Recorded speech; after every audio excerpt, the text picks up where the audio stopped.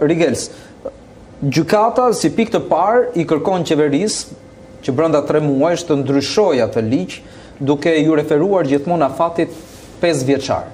A mund ta çojë qeveria tani 4 vjet?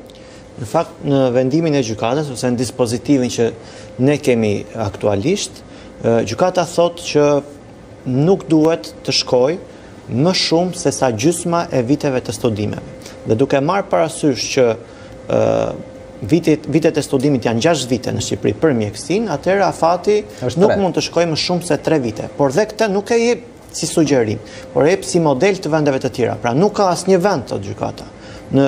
Europë apo në vende të tjera, që i kufizon më shumë se sa gjysma e viteve të studimit studentët e mjekësisë. Por, ajo që mendoj unë, parlamenti do mblidhet apo jo pas tre muajsh, në eksperiencën që kemi pasur dhe në mendimin tim nuk do të mblidhet. Pse?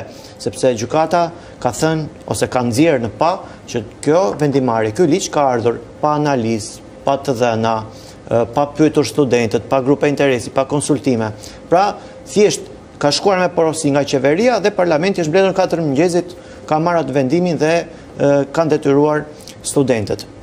Shohim ditën e djeshme pamë një tërheqje edhe nga rektorati, edhe nga fakulteti, thirri studentët dhe filloi të negociojë dhe të të kthejë marrëdhëniet në një normalitet. Pra, nga eksperienca mendoj që nuk do mblidhet. Në qoftë se do të mblidhet, Kuvendi të vendosë një afat prapë kjo do të bjerë ndesh me parimet që gjykata kushtetuse ka shprehur në atë vendim. E drejtë.